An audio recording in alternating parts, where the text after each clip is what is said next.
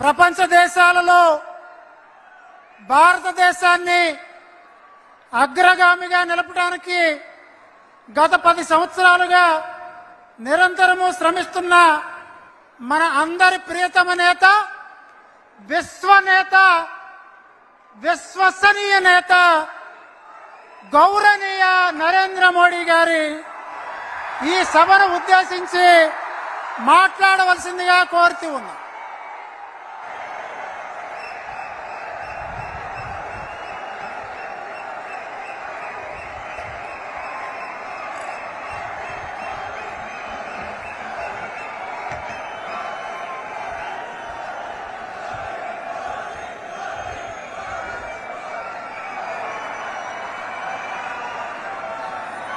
రాకా సుధాకర్ గారు అనువాదం చేయవలసిందిగా కోరుతుంది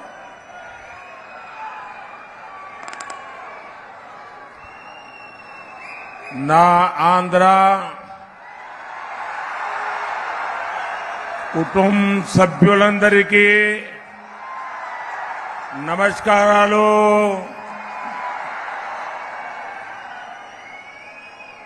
రాజా మహేంద్రవరం వాసియోకో నమస్కారం. मैं गोदावरी माँ को प्रणाम करता हूँ।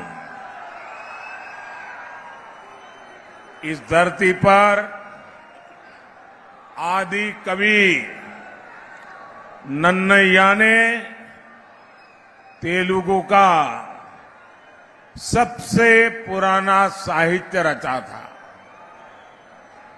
मैं देख रहा हूँ, आज वो धरती एक नया इतिहास रचने जा रही है నా ఆంధ్ర కుటుంబ సభ్యులారా రాజమహేంద్ర వాసులారా మీ అందరికీ నమస్కారాలు నేను తల్లి గోదావరికి తల వంచి నమస్కరిస్తున్నాను ఈ నేల మీదే ఆదికవి నన్నయ్య తెలుగులో తొలి కావ్యాన్ని రచించారు ఇప్పుడు ఈ నేల నుంచి కొత్త చరిత్ర ప్రారంభమవుతున్నది